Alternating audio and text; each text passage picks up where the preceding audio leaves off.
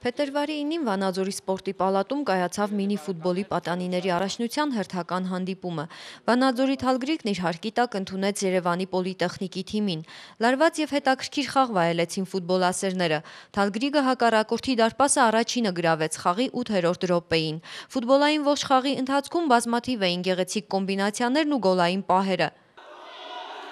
Գնդականցնում է Թալգրիկին, լավ հակագրոհ է։ Կարելի է շարունակել զարգացնել գրոհը եւ գոլ։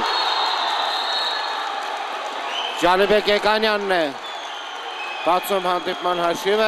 Խաղի արդեն 20-րդ րոպեին հաշիվը հավասարվեց, իսկ 27-րդ րոպեին արձանագրվեց ինքնագոլ։ Խաղն ավարտվեց 3-2 հաշվով հոգուտ Թալգրիգի։ Պետրչյան անցնում է եւ